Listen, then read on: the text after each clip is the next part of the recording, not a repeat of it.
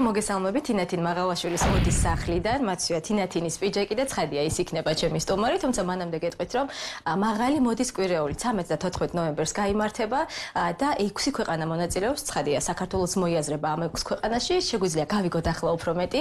თინათინ მაღალაშვილი მინდა წარმოგიდგენთ რომელიც როგორც დიზაინერი ასე ყველა კარგად იცნობს მაგრამ ამ შემთხვევაში როგორც მაღალი მოდის კვირეულის დამფუძნებელი აი ასეთი სტატუსით მინდა წარმოგიდგინოთ თინათინ მოგესალმებით.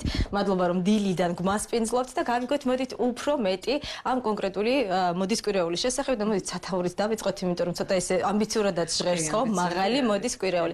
თუმცა მას აქვს თავისი წესები, რატომ ქვია მაღალი რას გულისხმობს. პირველ რიგში მივესალმები თქვენს მაყურებელს. მადლობა რომ მობრძანდით. აა თვითონ მაღალი მოდის კვირეულს, როდესაც ვარქმევდით, ცოტა ქონდა კითხვის ნიშნები, ცოტა გვეშინოდა, მაგრამ ჩვენს თავი თავიდანვე ისეთი ის გავაკეთეთ, განაცხადი გავაკეთეთ, რომ ჩვენ გვინდა მხოლოდ გამოვაჩინოთ დიზაინერები, რომლებიც ხელით ქმნიან სამოც, ხელით ქმნიან აქსესუარებს. ეს არის ჩვენი ძირითადი მოთხოვნა და ეს არის ჩვენი მიმართულება. როდესაც ვარჩევდით დიზაინერებს, ზუსტად ამ კუთხით ვარჩევდით, რომ უნდა ყოფილიყო აუცილებლად უნიკალური ხელით ნამუშევარი ექსკლუზიური კოლექციები. და რა თქმა უნდა, 6 ხუთი ქვეყანა, რომელიც ჩამოდის, ზუსტად ამ ნიშნით არის არჩეული. ჩვენთან ჩამოდიან სერბია, მაკედონია, ყაზახეთი, მოლდოვა, სომხეთი, ხუთი დიზაინერი დიზაინერი ჩამოდის და რა თქმა უნდა ორი ქართველი დიზაინერი ვიქნებით. ფატუნა ბუშიჰედი ხსნის მოდის კვირეულს.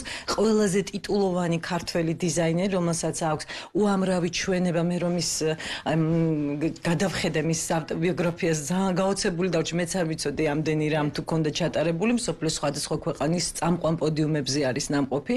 და ჩემთვის იყო დიდი პატივი რომ ფატუნა დათანხმდა მოდის კვირეულის გახსნაზე.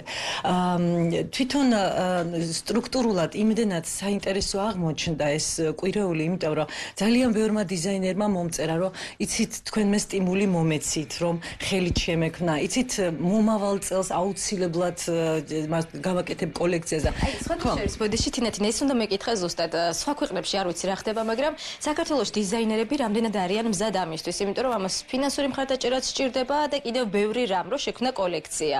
იცით რა არის ქართველი დიზაინერები ყოველთვის ყველაფრისთვის მზად არიან, იმიტომ რომ ყველაზე კრეატიული, ყველაზე ნიჭიერი დიზაინერი ყავს საქართველოში. მე ამას ძალიან ხმამაღლა ვამბობ, იმიტომ რომ უამრავ ქვეყანაში ვარ ნამყოფი, უამრავი დიზაინერის ჩვენება მაქვს ნანახი. წამყვანი მოდის სახლებში ვარ ნამყოფი, უშუალოდ ხელით მაქვს გასინჯული ყოველი მილიმეტრი, ისეთი კოლექციები, როგორც არის თქო ძიორი, შანელი და ასე შემდეგ, ხო?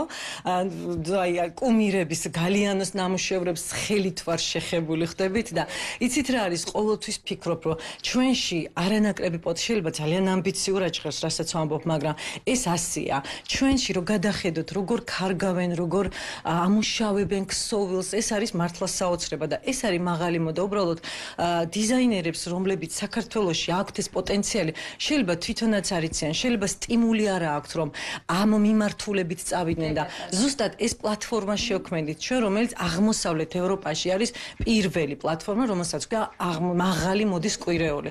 და ჩვენ გვინდა გავაერთიანოთ ზუსტად ეს დიზაინერები და ასევე მინდა ვთქვა, რომ ფოიეში, ბილტმორის ფოიეში ასევე გამართება ჩვენება ჩვენი ზუსტად იქ იქნება და ფოიეში გამართება ქართული დიზაინერების აქსესუარების ჩვენება, გამოფენა გაყიდვა და ვიცი რომ საოცარ ნამუშევრებს იხილავს ქართული. მე მინდა მოვასწროთ, რომ თქვენი კოლექცია დავათვალიერებინათ ჩვენს მაყურებელს, როგორც ეს თავისუფალი თემაა, რამდენადაც გითხარით და ყველა იმას წარმოადგენს რისი სურვილიც აქვს და თქვენ აირჩიეთ მებრძოლი ქალი. კი, მე იცით რა მოსება მებრძოლი. ხო, აი გეტყვით, იცით რა არის? კი ბატონო, თქვენ ხართ პირველები, რომლებიც ერთი წამი? აბა, გამოვაცრინოთ, აბჯარია, ხო, დაახლოებით მოტივი.